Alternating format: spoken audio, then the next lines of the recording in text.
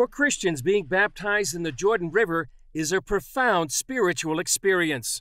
Uh, because it's my dream, and, and Jesus uh, was baptized here, and the river is blessed. I feel like I birth again because Jesus was baptized here.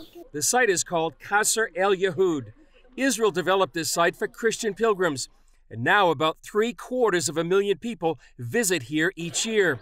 While there's no proof this is the exact location of the baptism of Jesus, it remains a special place. I read the Bible, I preach the Bible, and uh, and for us to be here and actually experience it firsthand, it sort of underscores and uh, affirms what uh, what they hear week after week uh, as we present God's word to uh, to the people. This is the area where some people believe the prophet Elijah ascended into heaven in a fiery chariot, and where the children of Israel crossed over the River Jordan into the Promised Land. Tour guide Ben David Catriel gives two reasons why this might be the area Joshua brought the Israelites on their way to Jericho. There are passages in the Jordan, places that are easier to pass. That never changes, that's topography.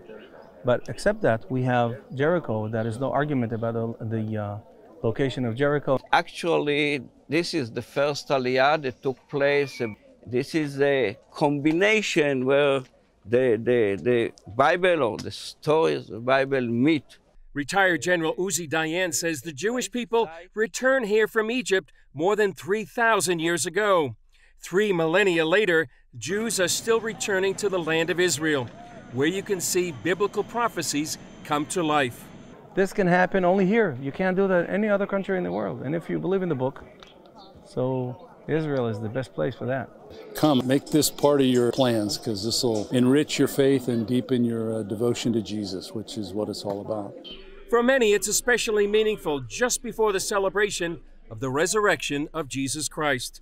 Chris Mitchell, Qasr El Yehud Baptismal Site, the Jordan River.